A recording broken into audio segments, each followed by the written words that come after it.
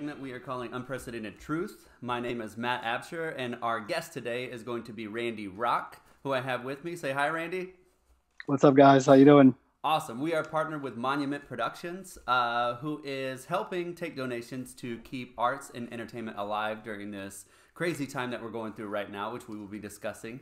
Uh, you can go to www.monument.productions uh, and you can go to Venmo or PayPal link, which is on their page, and help donate. And please, the more that you give, the more that we are able to do stuff like this so that we can have these interesting conversations and keep it going and keep arts and entertainment alive during this crazy fun time that we're all going through.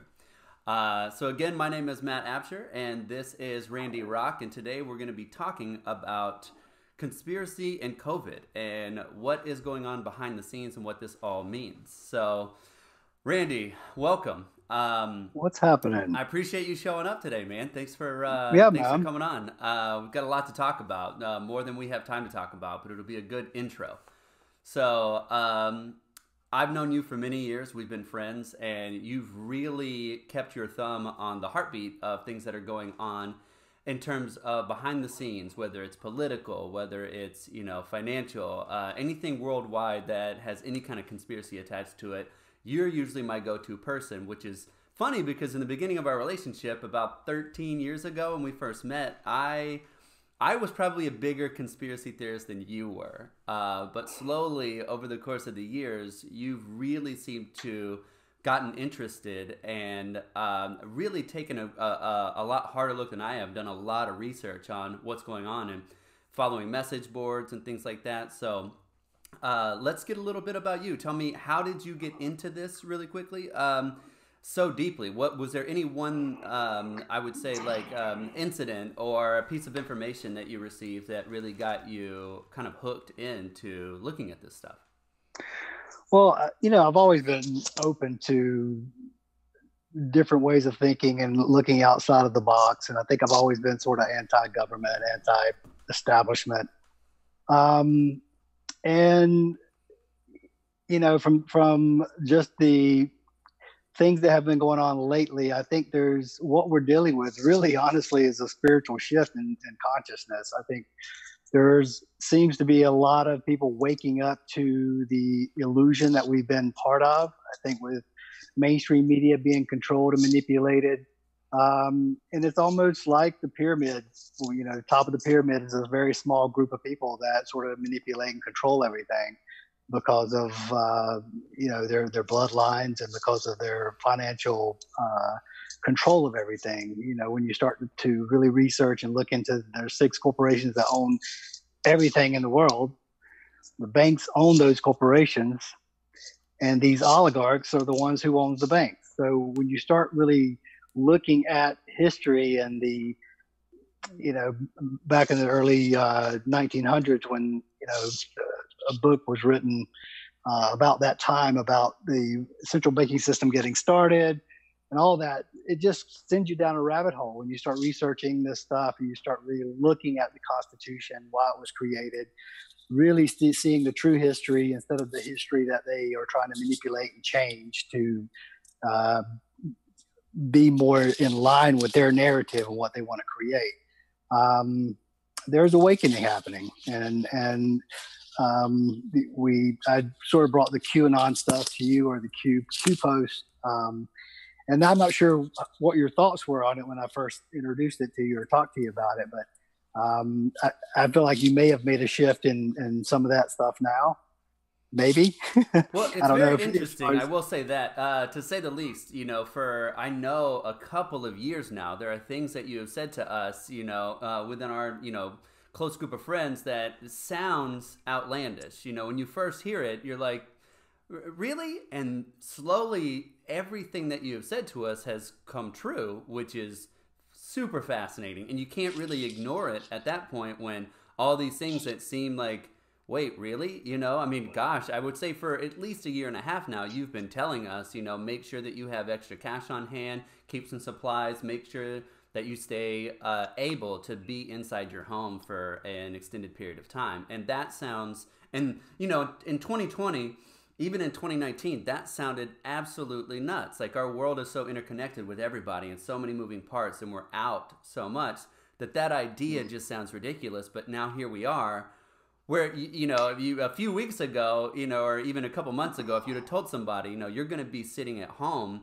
for a couple of months and not leave the house very much at all, I think anybody would have thought that would have been an absolutely bonkers idea. So let's back up and talk a little bit about uh, the things that you have known leading up to this, what you think this time means for everybody, and considering the the things that you know about what goes on behind the scenes for all this, what is happening now? What do you think is going on behind the scenes now? Well, I mean, I've always been sort of, like I said, one to look outside the box, and I think I've always questioned a lot of things. I think when you start really um, learning how to think and not necessarily be manipulated from just what the mainstream media is telling you, and you know, when you start to see the the fractures and the breaks in, in their communication to the public, and then you start to see truth behind, you know, a narrative that they're trying to push or getting you to think in a certain way um, and that's probably what got my interest because when I started seeing a lot of the breakdown of the mainstream media, um, I don't know how I got guided on the, the Q stuff, the Q board, um, and the Anons, but uh, I it, they started dropping on I think 4chan in uh, 2000 October 2017, right around the the time of the election. So all this sort of ties together, and um, you know that and the more i went down the rabbit hole the more truth you start seeing. And you realize you know we are in a spiritual warfare. And and, and there's there's things that are you know David Icke had a really nice uh, interview uh, today on london real if anyone wants to check it out it's and it again it's you know not that you have to believe everything that david icke talks about with his, some of his stuff but when you start really looking at a lot of his earlier work and then looking at today, he talks about the very same thing. And that interview is a very good interview to, to check out. But um, it starts to get you thinking about, you know, our reality and, and, and uh, how we've been duped mainly uh, how we have given our our power our inner internal god-given power away to an authority figure that's that's basically just manipulating, controlling everything. Mm. You know, and I, I think uh, it's easier to say, "Oh, yeah, well, that's that, that, sounds a little wacky and it's a little out there," but uh, look at what's happening. I mean, the whole world is shut down right now. So, you know, people I've talked to about certain things that totally didn't believe anything I was saying. Now they're sort of like, "Oh, okay, well, that's interesting, but I still don't believe it." And it's like, okay, we're just, I'm not getting anybody to try to believe like I believe. I want people just to think for themselves, start to look into things versus just blindly believing, you know, a lie. So well, I tell you what, uh, so that there, are, I know that there's going to be listeners or people who are watching that have no idea what Q is at all. So QAnon um, Anon is short for anonymous, I assume, right? Uh, anonymous, yeah. What? No, yeah. what is this? Uh, because I'm not as familiar as you are with it. It's a platform uh, that you can go online and check out. Well, basically, it, like Reddit. I would just say, do your do your own research. I think you can go. Uh, you can go to qmap.pub. I think is a, a, a, good place to kind of go check it out. There's a few platforms that carry it. Just research it. Just find it for yourself.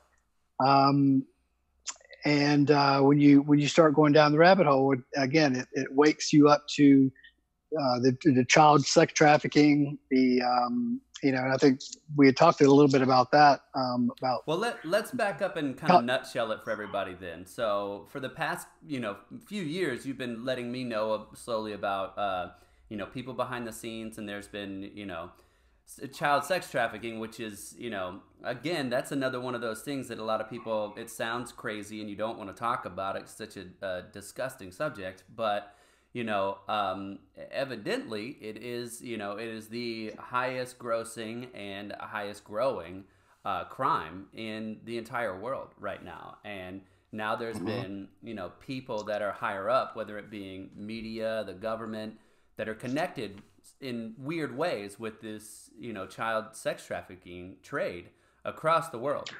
And supposedly right. there's a lot of that of going on behind the scenes right now currently. Why don't you tell me about that in terms of why things are being shut down right now? Well, I think um, I think the powers that have been, I think um, the, the manipulators and the people that have been doing all this, I think some of that's starting to be ex- exposed. There's basically we were infiltrated into our these people infiltrated into our government to push us into a one world society. Um, and now this is, uh, it, the white hats are people that we believe um, are the like the good side of the military because uh, with each branch of government you've got your the positive aspects of it but you also have the negative aspects of it the shadow government the the deep state the cabal the illuminati whatever whatever word you want to put on it um, these are all the same characters and and they're starting to be exposed for who they really are. And basically, it's a mafia that has been trying to take over our country. And the, the Q is um, believed to be a military intelligence that's believed to be a group of people. Um, and again, do your own research. And when you start really looking into it, you start connecting the dots and you start seeing truth. And and the Q stuff is really to get you to think. And and it, a lot of times it'll put certain uh, the codes in in a question form so it allows the person to ask themselves the question and then when they start researching it they start finding truth. And it that is about waking us up our consciousness up to that to the lie and that we are i believe it goes to a higher level of more spiritual beings having human experience and we've been given our power away to an entity that's not you know that's not got our best interest involved. So the spiritual awakening i believe or the great awakening is what they're calling it is people waking up to the idea of of their own divinity their own power within i think that you know i, I sort of always looked at anything that takes the power away from you is a lie anything that gives you power empowers the people is truth so I look at everything from that perspective. You know, what's taking my power away? What's giving me my energy, giving me my love, giving me the support of the universe? And you start separating yourself from that illusion. And I think that's what being that's the what the Q stuff is about is to expose that um, that we have been lied to and we are being manipulated and it's time for us to take our power back as the people um, of this world, not just this country, but as the world, because this is happening all over the world. People waking up to to um, to seeing the behind the curtain, so to speak. You know, the mm-hmm. you know, Wizard of Oz is a great analogy because they gave all this power thing to, to this thing, and then realized it was an old man behind the curtain that's kind of what we're looking at, you know, and, and, that's an analogy. That's a that's a great analogy. So, so, do you think that a lot of this has to do with power and control, and that's what uh, of, of course going on, like like the like David Icke talks about um, manipulating your perceptions. That's what they do. They mm. man, they manipulate your perception of of uh, a certain reality, and they feed off of fear. So that that's why they all the wars and all the stuff that they they create that's around pain and suffering and blood that's that's sort of a celebration for them because they feed off of fear and that's how they they control us well i mean they clearly have a lot of people currently then in that state um, do you speaking of which do you think that there's an agenda at all uh, good or bad on either side for what's happening right now considering we're in this global pandemic do you think that there are what is the well, agenda I think of the, either side? I think the dark. I think the dark is being exposed.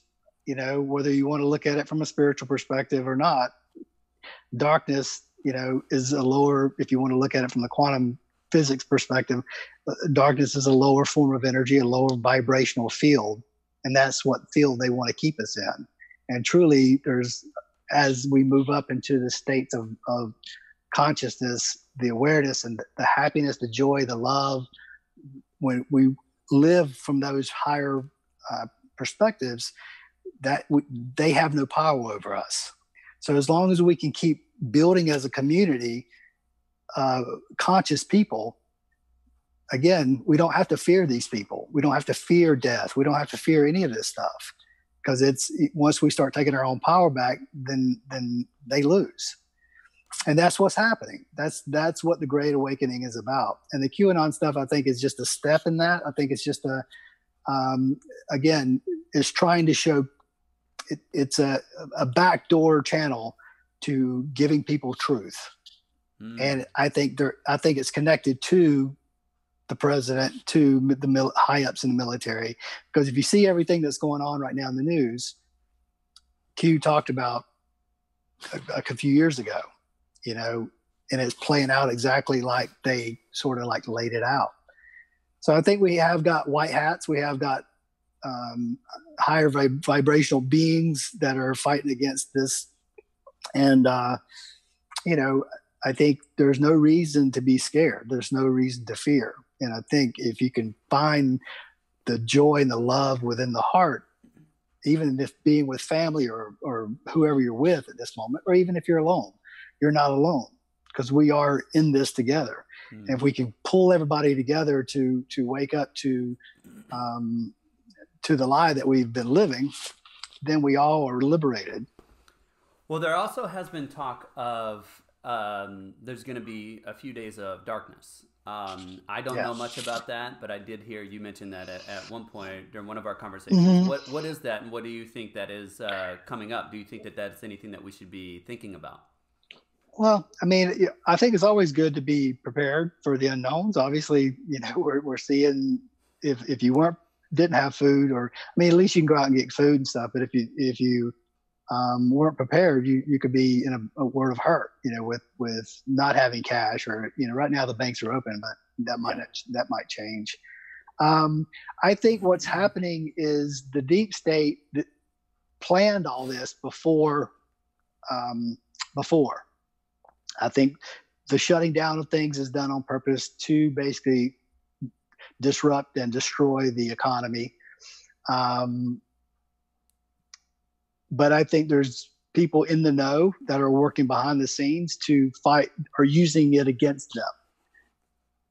Yeah. Whatever they're whatever they planned, they're taking their plan and they're basically playing chess. And and the the white hats, the people that have been doing this, they're five steps ahead.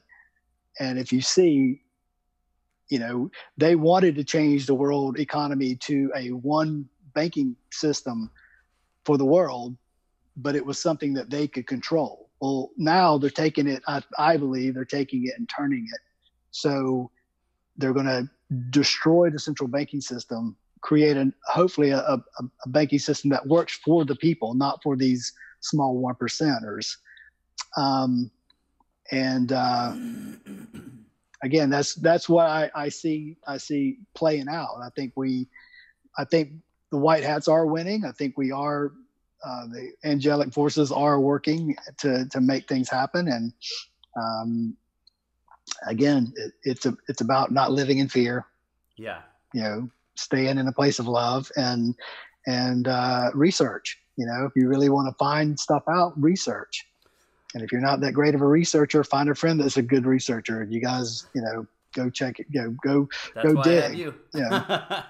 well, you know, again, I don't know everything. I'm not going to be the say I'm the smartest guy in the world. I, am pretty uh, wise, and when it comes to certain things, but um, but that's not that important either. So it's all it's really about each one of us kind of waking up to our own our own power within ourselves, and when we can wake up within ourselves, and then we can come together and see the illusion of you know if they can keep different groups fighting at this level, they win Mm-hmm. It's like when, when we start to stop seeing the the it's a certain group of people that are trying to keep the hate going, and you know. It, I don't want to get in, you know, it's really not about Democrat and Republican, any yeah. of that when you get into the political arena.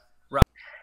So, yeah, I think everybody should just do their own research. Um, you know, I would start listening to some alternative media. Um, you know, whether whether it's just again, just research and again, because if you're listening to a lot of the mainstream media, they're not telling you the truth. You know, Well, and, give me give me uh, at least uh, you know two to three examples. Where would you find if someone didn't know where to go to find alternative media? Where well, you once go? you start researching, when you start researching Q, I think iPod um, in Pursuit of Truth. I think he does a great job with the Q breakdowns. Uh, and Medic um, is another guy that that uh, does a, a, good job at, the Q breakdowns. Um, you know, you can start, you know, researching it, and some of these people start popping out, um, and listen to what they say, and, and again, uh, all of them pretty much say the same thing: is do your own research and yeah. trust no one. You know, start to look at the evidence, start looking at the the the the, uh, the truth, and the truth will prevail. I believe that truth is, will it will prevail. Well, Rock, so, uh, and having said that, uh, towards the, the end of all this, when we come out of this, uh, say best case scenario, uh, you know, good guys I, win. What does that look like to you? You know, what does the well, I, th- I think like I think for starters, I think we're going to start seeing um, once we get out of this, which uh, you know, I'm I'm hoping will be by Easter would be would be a great uh, another example of another resurrection but um, that would be nice, right? Yeah. Um, uh, I just see um, a new world that that that well, we're not taxed and we're not, you know, we we support each other, we help each other, and um, we help those in need. We help the people that need to be helped instead of uh, you know pushing poverty and then trying to force it down people's throat and you know, pushing people toward more government power, more government control. And I don't think any of us want that. You know, we want to be able to be free beings. And that's mm-hmm. what we're mm-hmm. here for. We're sentient beings and, and we're spiritual beings having a human experience if you want to see it from that perspective. Yeah, um, a little um, bit more spiritual enlightenment going around. Yeah, I think it's, you know, and regardless of even if somebody's, you know, anti God or, or atheist, I mean, again, nature and freedom, you know, I don't care if somebody has a different idea than me. Just don't force your ideas on me. You know what I'm saying? Mm-hmm. So same thing with the government. I don't I don't want uh, them forcing their beliefs and their ideas on me as a sentient being. Um, and I think people are waking up to that control mechanism. Wow. Well, my man, Randy Rock, this has been some amazing food for thought. I really, really appreciate yeah. you coming on. Uh, and guys, yeah, uh, again, please go to monument.productions, uh, www.monument.productions. And please, uh, if you have a chance, uh, we're so excited to be able to bring you conversations like these and to bring more of them to you. Uh, just go click on their Venmo or PayPal links and uh, donate as much so we can keep arts and entertainment and awesome, interesting conversations like this going into the future. Rock, thank you again so much, my man. I really appreciate yeah, it. Uh, much peace and love. Yeah. I uh, hope you're staying yeah, safe for sure, brother. and indoors. And I look forward to talking to you soon, my man. Yeah, we'll be outdoors soon, man. All right. Love you, bud. love you, Doug.